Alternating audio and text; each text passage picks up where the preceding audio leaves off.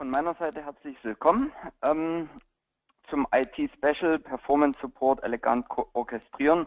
Soll ein ganz praktischer Einblick sein ähm, in den Performance Support, wie man das eben umsetzen kann in Ihrer Organisation äh, mit unserer Software, der TT Performance Suite.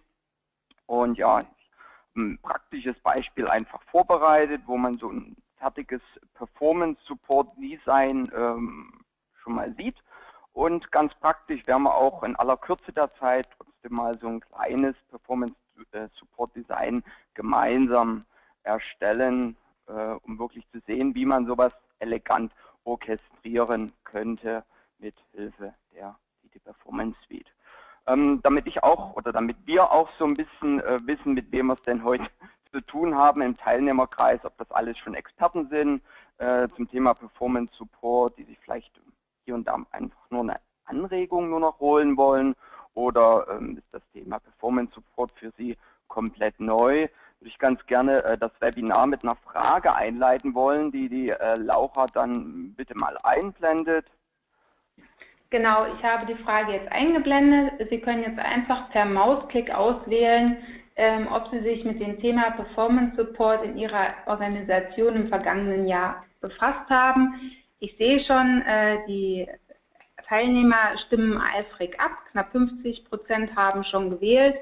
Leider kann ich Ihnen das Ergebnis nicht sichtbar machen. Ich werde Ihnen es aber gleich nochmal jetzt gleich nochmal für Sie zusammenfassen. Wir warten noch fünf Sekunden, bis sich auch die restlichen Teilnehmer entschieden haben. Aber es zeichnet sich doch ein deutliches Bild ab und damit schließe ich dann die Umfrage.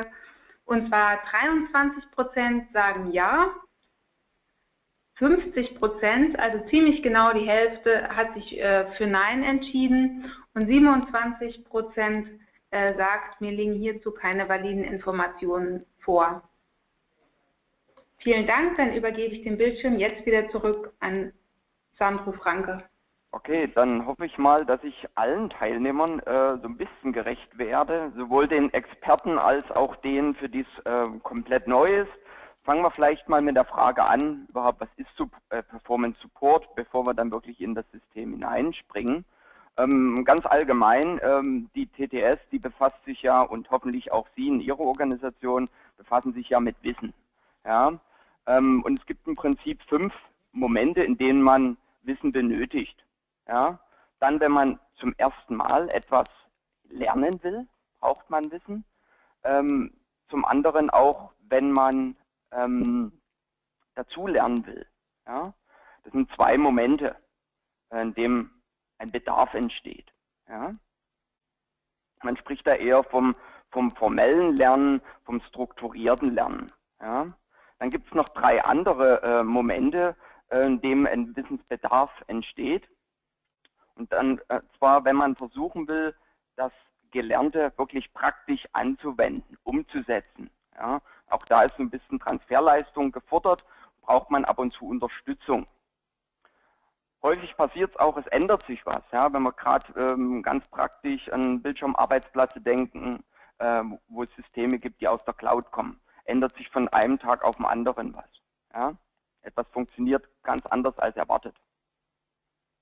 Das sind so typische Beispiele, ähm, wo ich äh, einen Wissensbedarf habe, ähm, der jetzt nicht formal irgendwo gekapselt ist, sondern der quasi ad hoc auftritt. Ja? Das heißt, ich habe zum einen ähm, die Möglichkeit, formell äh, Wissen aufzubauen, ganz klassisches äh, äh, Training, ob das nun Präsenztraining ist oder vielleicht auch ein Virtual Classroom äh, mit einem Moderator, der dann curricular ähm, durch einen Kurs führt, sei dabei dahingestellt. Und die ähm, zweite Rubrik, äh, mit der wir uns heute hauptsächlich befassen werden, das sind die Momente 3 bis 5. Äh, ich versuche Wissen anzuwenden. Es ähm, passiert etwas, was ich so nicht erwartet habe und es gibt eine kurzfristige Änderung. Ja? Und hier sprechen wir dann wirklich vom Performance Support, wo eine direkte Unterstützung äh, notwendig ist, damit halt Wissen sauber transferiert werden kann, damit ich in meinem ja, Job in meinem Arbeitsfluss weiterkomme. Nochmal eine andere Darstellung. Ähm, auf der einen Seite haben wir eben dieses formelle Lernen, Ja, wie ich bereits gesagt habe, es gibt halt ein Lernkonzept, es gibt Lernziele, auf die ich dann sukzessive hinarbeite. Ja. Das ist aber, wie gesagt, so eine gekapselte Geschichte. Ich bin vielleicht in einem, ähm, einer Präsenzveranstaltung, verlasse diese dann, komme dann an meinen Arbeitsplatz und in dem Moment, ähm, da können auch zwei, drei Wochen dazwischen liegen, muss ich das Wissen anwenden. Ja. Das ist der Zeitpunkt hier. Ja. Und hier greift dann das Performance Support Konzept. Ja, da brauche ich manchmal nur ganz konkret für ein oder zwei Schritte eine konkrete Unterstützung, um das Wissen sauber anzuwenden. Manchmal brauche ich auch ein paar mehr Details. Ja, vielleicht einen Hinweis, wie sowas Best Practice-mäßig durchgeführt wird von einem erfahrenen äh, äh, Mitarbeiter oder vielleicht ein kleines Video.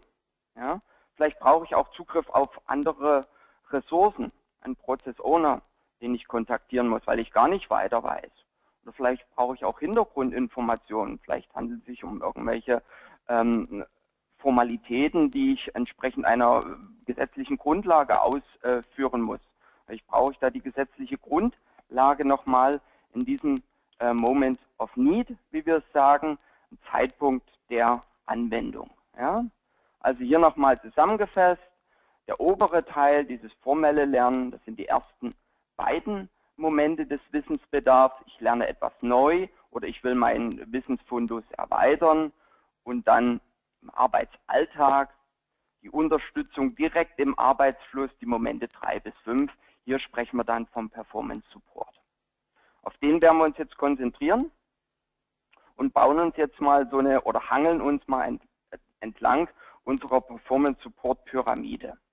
Ja, dort ähm, geht es im Prinzip ganz einfach von der Spitze runter äh, zur Basis vom äh, ganz konkreten, von der ganz konkreten Unterstützung. Ich habe es hier schon mal rechts aufgeführt. Das kann einfach so, ein, eine kleine äh, Führung sein, das kann eine Quick Reference Card sein oder eine kurze, präzise Anweisung für ein Feld in einer beliebigen IT-Anwendung bis hin zu etwas komplexeren äh, Unterstützungsmaterialien, FAQs, wie gesagt, rechtliche Vorgaben, vielleicht auf irgendwelche Normen oder Standards, ähm, auf die ich mal äh, zurückgreifen muss, um im Arbeitsfluss Fluss, äh, sicher voranzuschreiten. Oder nicht zu vergessen die ganzen sozialen Ressourcen, die man im, im Unternehmen darüber hinaus hat, ähm, Zugriff zu, zu Experten-Chats, äh, vielleicht auch Zugriff auf ein, ein Ticketing-System, ein Monitoring-System, was mir genau in dem äh, Moment, in dem ich Wissens benötige,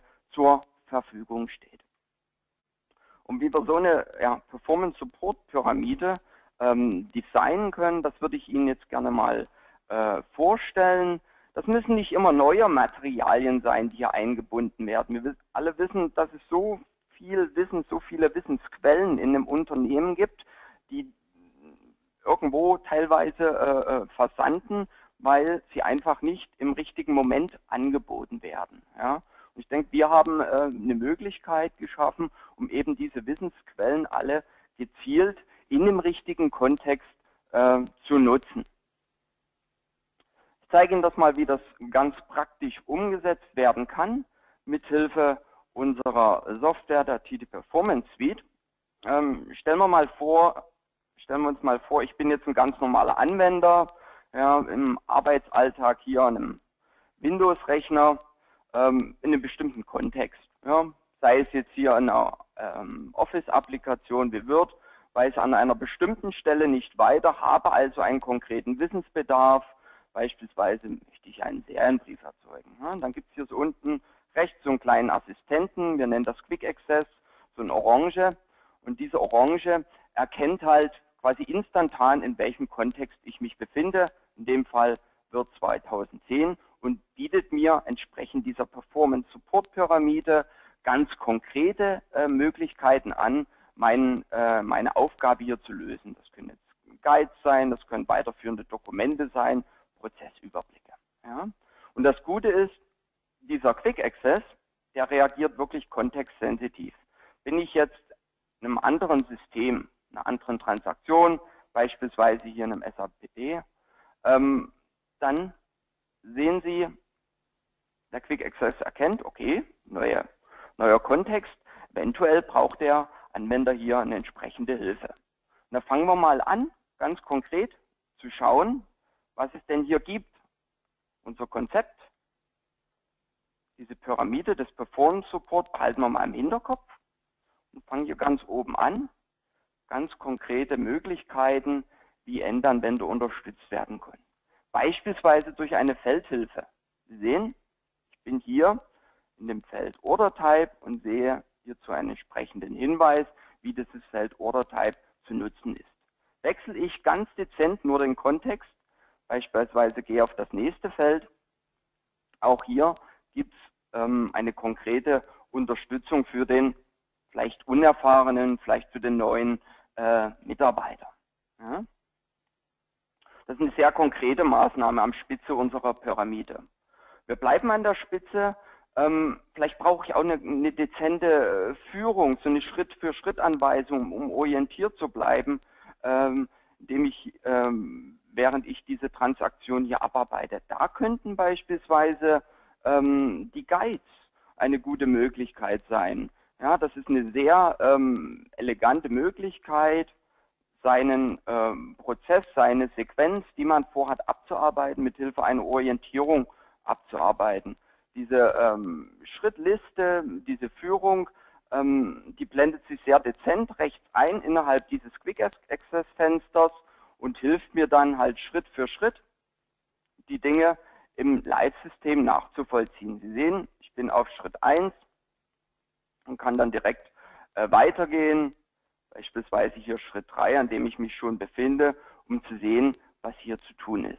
Beispielsweise ähm, eine Abkürzung einzugeben äh, für unsere äh, Standardbestellung OR. Ja? Sie müssen sich diese, diesen Guide so ein bisschen vorstellen, sind bestimmt alle schon mal U-Bahn gefahren, Metro, Straßenbahn, auch wenn man da in einer unbekannten Stadt so ein U-Bahn einsteigt, hat man in der Regel am Fenster, oben am Dach so eine, so eine Führung. Man weiß, wo man eingestiegen ist und hat bestimmt schon als Ziel ausgegeben, wo man aussteigen will. Und hin und wieder schaut man halt auf diese äh, Führung, auf diese Schrittliste, um, um zu schauen, wie weit ist man denn schon. Ja? Auch übliche Dinge, wenn Sie jetzt beispielsweise mal zwischendrin einen Telefonanruf empfangen müssen, ist auch kein Problem. Dann markieren Sie sich gerade den Schritt, an dem Sie aktuell sind, führen Ihren Telefonanruf durch und können dann genau an der Stelle äh, weitermachen, wo Sie hier diese Markierung gesetzt haben. Ja? Also eine sehr schöne, dezente ähm, äh, Unterstützung im Live-System, die selber unbeeinflusst lässt. Das heißt, Sie können auch jederzeit andere Aktionen hier durchführen. Ja? Also das ist äh, keine Hilfe, die sich irgendwie in den Vordergrund schiebt, sondern wirklich hier dezent am Rand bleibt. Zweite Möglichkeit der Unterstützung innerhalb von Performance Support. Dritte Möglichkeit, jetzt werden wir so ein bisschen breiter innerhalb unserer Pyramide, ist das Anbieten vielleicht von einer ähm, von einem Best Practice Filmchen oder vielleicht von einer ganz klassischen äh, Dokumentation. Ja, das können jetzt Dinge sein, die mithilfe unseres ähm, Autorenwerkzeugs, der Knowledge Force, äh, gebaut wurden. Die sind ja Teil der Performance Suite oder aber auch äh, fremde Lerninhalte, die einfach kontextsensitiv eingebunden wurden. Beispiel hier ähm, einfach so ein Best Practice äh, E-Learning ähm, über eben genau dieses Thema, wie ich so eine Standardbestellung ausführe.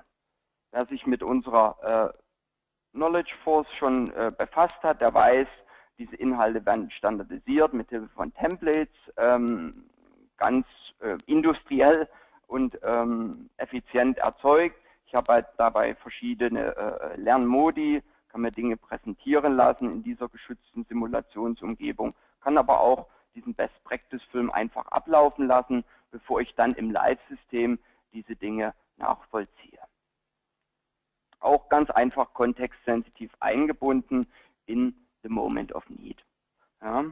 Natürlich gibt es neben diesen E-Learnings, weil wir ja mit so einem Single-Source-Prinzip operieren, auch den direkten Zugriff auf die passende äh, Dokumentation zu dieser aufgezeichneten Sequenz, ob jetzt als klassische Dokumentation oder als Kurzanweisung, als äh, äh Quick Reference Card, ähm, wie hier in dem Beispiel aufgeführt, was man dann spaltenweise liest und bei Bedarf sogar ausdrucken könnte, ähm, sei dabei dahingestellt. Ja? weitere Möglichkeit innerhalb unseres Performance Support Designs. Jetzt sind wir ganz gut ähm, schon äh, vorangeschritten in unserer Pyramide. Ähm, vielleicht habe ich auch den Bedarf, hier ein bisschen mehr Input zu erhalten, welche Möglichkeiten, Eingabehilfen ich ähm, denn hier habe, um die richtige Vertriebsorganisation auszuwählen, den richtigen Bestelltyp. Vielleicht ist das irgendwo schon äh, aufgelistet äh, in einem Fremddokument, was ich hier ganz einfach kontextsensitiv anbieten kann. Ja, das kann jetzt zum Beispiel so ein, so ein Excel-Sheet sein. Ja, hat nichts mit äh, einer Knowledge Force, mit einem Guide, wie auch immer zu tun, sondern es ist ein Fremddokument, was einfach kontextsensitiv angeboten wird in dem äh, exakten Bedarfsmoment für den äh, Anwender. Ja? Oder vielleicht noch ein bisschen breiter geblickt, ähm, ich möchte wissen, wo ordnet sich denn mein, mein Arbeitsablauf, den ich gerade äh, befinde, wie ordnet der sich überhaupt in äh, den kompletten äh, Prozessablauf eines Unternehmens, meiner Abteilung ein? Wieso nicht einfach kontextsensitiv einen Prozessüberblick anbieten? Ja, das kann jetzt äh, sowas sein, einfach aufzuzeigen, ganz schematisch, vielleicht ein nicht so treffendes Beispiel, wie dieser komplette Bestellprozess funktioniert, denn meine Mitarbeiter sollen ja jetzt nicht nur stumpf irgendwo klicken, die sollen ja auch ein bisschen Spaß haben an ihrer Arbeit und wissen, ähm, wo sie sich gerade befinden, mit wem sie vielleicht auch zusammenarbeiten, welche Rollen an ähm, dem Prozess noch beteiligt sind. Ja? Auch ein kontextsensitives Anbieten hier ähm, von Prozesswissen. Das war jetzt mal ein fertiges Beispiel in aller Kürze ähm, der Zeit ähm, mal aufgezeigt. Ähm, und in eben so kurzer Zeit können wir auch ganz einfach so eine neue Pyramide selber aufbauen. Ja? Ich wähle dazu bewusst mal äh, ein, ein, Szenario, was mehr und mehr vorkommt, äh, und zwar webbasierte Applikationen, ähm, Cloud-Systeme. Nehme dabei mal ein System, was wir auch intern selber nutzen. Salesforce.com, haben Sie vielleicht schon mal gehört, vielleicht setzen Sie auch selber ein. Sie sehen mein Quick Access aktuell, der erkennt zwar, okay, ich bin in meinem Cloud-System, Salesforce heißt das, in irgendeiner Maske, Contact, ähm, aber es gibt noch keinerlei Unterstützung. Ja? Und jetzt bin ich vielleicht jemand, der sich mit Performance Support schon ein bisschen auskennt äh, und möchte eben so eine Pyramide jetzt elegant aufbauen, orchestrieren. Ja? Da wäre natürlich der erste Schritt, zu überlegen, was gibt es denn überhaupt schon für Wissensquellen im Unternehmen? Wie kann ich die heranziehen? Ja, vielleicht auch mit anderen Leuten mal reden, ähm, äh, um diese Wissensquellen verfügbar machen. Und dann das Wichtigste, ich muss diese Wissensquellen äh, verkontexten, kontextualisieren. Wie das geht, zeige ich Ihnen. Ja? Auch hier fangen wir wieder ganz konkret an mit unserer Pyramide, die jetzt noch leer ist. Ganz oben an der Spitze Unterstützung für das ein oder andere Feld. Was tue ich jetzt? Wenn ich zum Beispiel eine Unterstützung hier für so ein Pflichtfeld haben will, das Account Name oder Last Name, wie auch immer, ähm, stelle ich zunächst erstmal meinen Cursor rein und nutze dann einen sogenannten Autorenmodus des Quick Access, wo ich für dieses konkrete Feld so einen digitalen Fingerabdruck hernehme. Ja, das sieht man hier. Wenn ich in ein anderes Feld gehe, ich synchronisiere das nochmal neu, ändert sich dieser digitale Fingerabdruck. Ja. Der ist ganz wichtig zum Kontextualisieren von jedweden äh, Wissenselement. Ja. Ich nehme diesen digitalen Fingerabdruck jetzt mal von dem Feld, kopiere den in die Zwischenablage über dieses Knöpfchen hier und gehe jetzt in die Workbench meiner Performance Suite. Ja, das kennen Sie sicherlich schon, das ist jetzt auch die neueste Version, die 2015er, da hat sich optisch ein bisschen was getan, aber ähm, inhaltlich ist das noch wesentlich wie die Vorgängerversion und ich mache mir jetzt zunutze mein Glossar. Ja, habe ich schon jede Menge Glossarbegriffe beispielsweise ein, ähm, ganz oben angelegt, nennt sich Account Name. Den hatte ich auch schon äh, Vorfeld des Webinars so ein bisschen beschrieben, so eine äh, Beschreibung hinterlegt. Das Einzige, was mir noch fehlt, ist im Prinzip dieser digitale Fingerabdruck, den ich gerade abgegriffen habe. Den kopiere ich über die Zwischenablage hier rein, stelle sicher, dass dieser Glossarbegriff auch freigegeben ist, also prinzipiell dem Endanwender zur Verfügung steht und bestätige das Ganze. So. Damit habe ich jetzt einen Glossarbegriff verkontextet oder kontextualisiert und schauen wir mal, wie der Endanwender dieses dann ähm, nutzen könnte. Ja, ist vielleicht ein neuer Mitarbeiter, der sich mit dem CRM-System noch nicht so auskennt, weiß noch nicht so richtig, was er hier zu beachten hat, nutzt dann den Performance Support, die Orange. So, natürlich hier in das Ergebnisfenster reinschauen und siehe da, wenn ich ähm, mit meinem Cursor in diesem speziellen Feld bin, sorry, in diesem speziellen Feld bin, äh, bekomme ich einen Hinweis, was denn bei dem Parameter Account Name zu beachten ist. Ja, wenn ich jetzt woanders hinwechsle, sehen Sie, greift äh, diese Erklärung nicht mehr. Denn mein Cursor ist jetzt nicht mehr im Account Name Feld, sondern im Feld Degree. Wechsle ich wieder zurück, der Performance Support wieder. Ja, ganz konkrete äh, Unterstützung kann vielleicht auch sein, über Nacht hat sich im Cloud-System ein neues Feld eingeschlichen, eingeschlichen ja, Endanwender ist verunsichert, klickt da einfach mal drauf, bekommt eine saubere Erklärung, ja, wieso das Feld neu ist, ähm, in welchem Zusammenhang es steht. Ja. Wenn dann sag ich mal, zwei, drei Wochen später allen das neue Feld be bekannt ist, dann kann man diesen Glossarbegriff auch wieder ähm, deaktivieren. Muss ja nicht ein für alle Mal dann im Quick Access auftauchen. Ja? Eine ganz konkrete Möglichkeit. Bleiben wir mal an der Spitze unserer äh, Pyramide.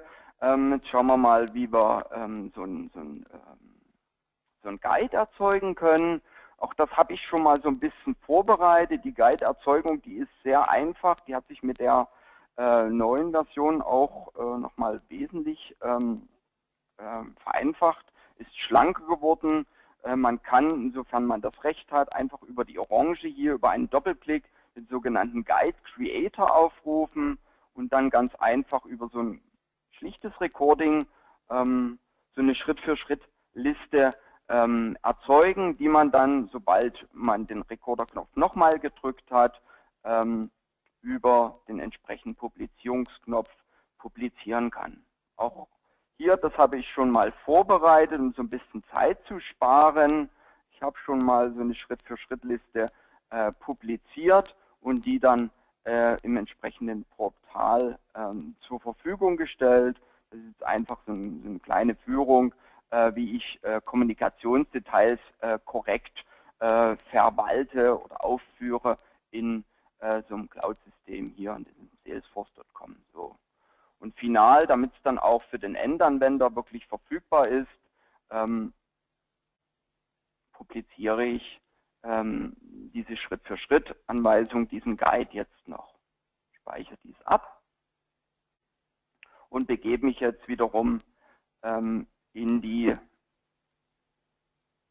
Perspektive eines Anwenders und siehe da, bin wieder auf der entsprechenden äh, äh, Maske hier, ähm, um einen neuen Kontakt anzulegen. Äh, und jetzt habe ich hier meine Führung, mein, was ist denn hier los? Dann gibt es einen kleinen Fehler. Versuchen wir es mal hier rüber. Na, da klemmt irgendwo die Säge, das tut mir jetzt leid. Ähm,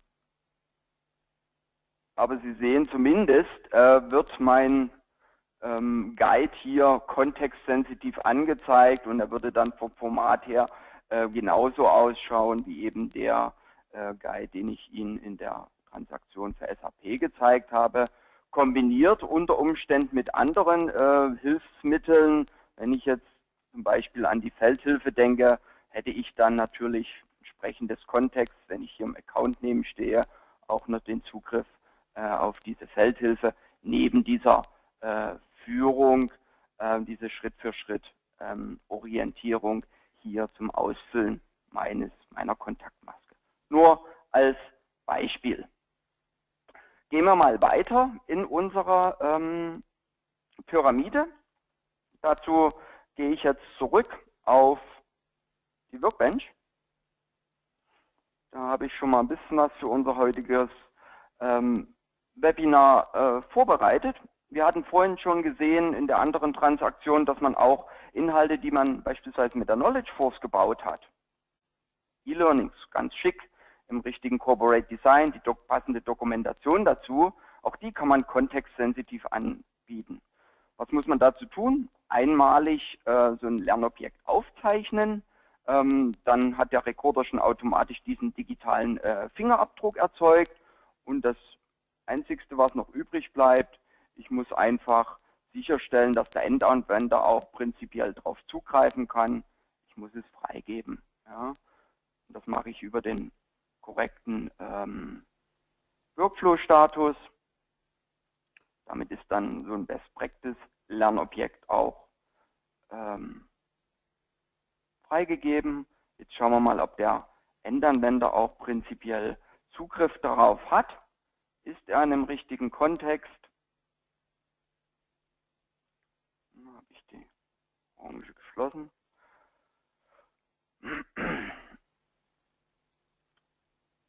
So, Sie sehen, ich bin nach wie vor in, meinem, in meiner Kontaktmaske, habe entweder Zugriff auf so eine Schritt-für-Schritt-Führung oder, falls ich so ein bisschen weiterführendes Wissen brauche, so ein Best Practice, wie ich denn vorhandene ähm, Kontakte finden kann, dann kann ich ganz praktisch entweder das E-Learning hier kontextsensitiv aufrufen. Ja, Sie sehen, das sind jetzt äh, mit Bordmitteln erzeugte, ein mit Bordmitteln erzeugtes äh, Lernobjekt mit den entsprechenden Lernmodi. Ähm, ich kann hier sogar üben, um ganz sicher zu gehen, dass ich wirklich das Richtige tue. Ja, ich kann es mir aber auch einfach ähm, präsentieren lassen, bevor ich dann das Ganze im Live-System genauso nachvollziehe. Ja, oder einfacher ein so ein Filmmodus, Software, Kino, ähm, um Sicherheit zu gewinnen. Ja. Oder der Klassiker, Zugriff auf die Dokumentation, die ja auch immer Teil von so einem Lernobjekt sein kann. Ja, entweder so eine äh, klassische Dokumentation, eine Kurzanweisung, man kann sogar ein Übungsblatt mit ausgeben oder eben besagte ähm, E-Learnings. Weitere Möglichkeit, wie Sie so eine Performance Support Pyramide anreichern können äh, mit äh, Best Practice Materialien. Gehen wir mal weiter zurück hier als Architekt meines, meiner Performance Support Pyramide will ich vielleicht so ein bisschen Hintergrundwissen äh, zu dem aktuellen System äh, vermitteln. Vielleicht irgendwelche Guidelines oder vor uns habe ich über äh, gesetzliche äh, Vorlagen gesprochen oder, oder, Grundlagen gesprochen. Normen, Standards, gerade im Industriebereich ja, äh, sind Standards ja eine wichtige Geschichte. Ich habe jetzt hier schon mal so eine Guideline hochgeladen in die Workbench, kann man ja machen. Das äh, ist ein PDF-Dokument, äh, was ich jetzt verkontextualisieren möchte. Was mache ich dazu? Gehe nochmal in das System, greife nochmal den aktuellen Kontext ab hier. So, kopiere diesen in die Zwischenablage, nehme jetzt meine Guideline. Und füge einfach diesen besagten digitalen Fingerabdruck, diesen Kontext, diese Kontextinformation hinzu, brauche gar nicht die Feldinformationen, äh, sondern mir reichen ähm, die Informationen des Kontexts zur Maske, bestätige das Ganze. Das Objekt ist schon freigegeben, sollte somit direkt in the moment of need, im richtigen Moment, wenn es benötigt wird, auftauchen. Schauen wir mal. Voilà. Hier haben wir direkten Zugriff. Hat nichts mit äh, der Performance Suite zu tun, weder mit der Knowledge Force noch mit, dem, äh, mit der Guide-Produktlinie. Einfach ein schlichtes PDF, was mir jetzt hier ähm, also ein praktisches, eine praktische Startanweisung gibt, äh, wie ich äh, dieses Cloud-System zu nutzen habe. Ja? Wird mir natürlich jetzt an anderer Stelle äh, nicht angeboten. Ja? Wenn ich jetzt hier, hm, ich mal das Dashboard wechsle, das ist ein anderer Kontext. Natürlich hier synchronisieren. So, dann sehen Sie, hier habe ich noch keinen Performance Support. Ja? Also Sie sollten sich auch überlegen, wo sind besonders kritische Bereiche, wo muss ich besonders schnell unterstützen. Dann fokussieren Sie bitte zuerst auf diese ähm, und bauen sich dort die Pyramide zuerst auf. So, wir gehen mal weiter. Hier in unserer Kontaktpflege sollten die Dinge natürlich dann wieder entsprechend äh, auftauchen. Das sind sie. Ähm, jetzt haben wir schon gesehen, wie wir Fremdmaterialien einbinden können, wie wir ähm, Lernobjekte der Knowledge Force einbinden können, wie wir Guides erzeugen können, wie wir Feldhilfe äh, einbinden können. Ähm, was gibt es denn noch für Möglichkeiten? Vorhin hat man auch äh, sehr schön gesehen, wie es denn, ähm, dass es hin und wieder Sinn macht, mal einen Prozessüberblick zu integrieren. Auch da äh, können wir auf die äh, Möglichkeiten der äh, Workbench zurückgreifen. Sie wissen ja sicherlich, dass man Prozesse sehr schnell ähm, ja, strukturieren, modellieren kann in der Prozesssicht, die dann auch einem Prozessmodell genügen, ähm, welches hier im System hinterlegt ist. Und auch diese Prozesse kann ich verkontexten. Ja, das ist mm, ganz einfach möglich. Ich pick mir so einen Prozess mal raus, der nennt sich Client Opening als Beispiel. Auch hier habe ich ein Attribut, wo ich eben diese digitale, diesen digitalen Fingerabdruck hinterlegen kann, stelle sicher, dass dieser Prozess ähm, auch freigegeben ist und weil ich dies getan habe, sollte eben ein Prozessüberblick auch hier äh, in der Performance Support Pyramide in dem Quick Access auftauchen. Probieren wir es aus. Ja, siehe da, jetzt weiß ich auch, ähm, wie eben der übergeordnete Prozess zum Client Opening ähm, durchgeführt wird und mit dem ich vielleicht auch zusammenarbeite. Weiteres Beispiel, Prozesswissen kontextsensitiv vermitteln. Ja. Ich könnte es sogar so weit treiben, dass ich ähm, Kurse, in die ich mich einschreiben will, beispielsweise einen Einsteigerkurs zum CRM wie Salesforce, hier kontextsensitiv anbieten kann. Ja. Auch Kurse, die mit der äh, Workbench aufgesetzt wurden, könnten kontextsensitiv angeboten werden. Es kann alles, was Sie hier auf der Workbench äh, verwalten, äh, kontextualisiert werden. Ich mache Ihnen noch zwei, drei weitere Beispiele, die häufig äh, Sinn machen. Ähm, ganz häufig ähm, hatte ich ja schon gesagt, gibt es Wissensinhalte, die irgendwo schlummern, sei es irgendwie in einem SharePoint oder einer anderen Intranet-Quelle oder ganz häufig sind vielleicht auch Foren im Internet äh, sehr interessant und, und eine relevante Quelle. Ähm, auch da kann man ganz einfach mit Links arbeiten.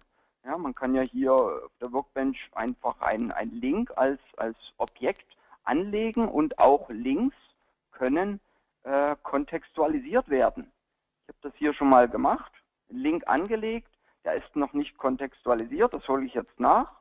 Zack, meine Signatur, meinen digitalen Fingerabdruck äh, der äh, Kontaktmaske hier eingefügt. Jetzt schauen wir mal, was der Endanwender nun zu Gesicht bekommt, sobald meine Pyramide wieder synchronisiert wird. Manchmal dauert es einen kleinen Augenblick. So, ja, siehe da, ähm, direkter Zugriff auf eine Wissensquelle, ob das jetzt im Internet ist, äh, im Intranet, ja, einfach über die passende URL ähm, die richtige Wissensquelle angesprochen. Und es gibt so viele Wissensquellen in den Organisationen, die man über einen einfachen Hyperlink aufrufen kann. Ja. Das Problem war häufig der fehlende Kontext. Und das können Sie jetzt ganz sauber hier ähm, nachholen, um eben ähm, die richtigen Wissensquellen in dem richtigen Moment anzubieten. Was fehlt noch? Ähm, der Faktor Mensch. Den sollte man natürlich auch äh, nicht unberücksichtigt lassen. Ab und zu braucht man halt doch nochmal einen Zugriff äh, auf, Person, auf eine Person, auf einen Experten, sei es jemand im Helpdesk, sei es der Process Owner. Ja. Auch so, ähm, sowas kann man in so ein Performance-Support-Konzept mit einbinden, dass man nicht erst aufwendig in einem Telefonbuch suchen muss, wer ist denn jetzt der Verantwortliche hier für das CRM-System, ja, oder wer ist denn der Administrator für das und das System. Nee, bietet man kontextsensitiv mit an. Schlichtes Beispiel von meiner Seite. Ähm, ich habe ja eine einfache HTML-Seite ähm, hinterlegt. Ähm, werden wir gleich sehen, wie die ausschaut. Auch der gebe ich den passenden Kontext. Fingerabdruck einkopiert. Ja. So. Bestätigt. Stelle sicher, dass es freigegeben ist und schau mal mit der Endanwenderbrille drauf. Bin jetzt hier in der Kontaktmaske, synchronisiere meine Pyramide wieder und siehe da, jetzt habe ich auch die Möglichkeit, beispielsweise einen äh, Process Owner zu dem CRM-Kontaktprozess äh, zu kontaktieren. Wie schaut das aus? Wie gesagt, meine HTML-Seite ist sehr schlicht.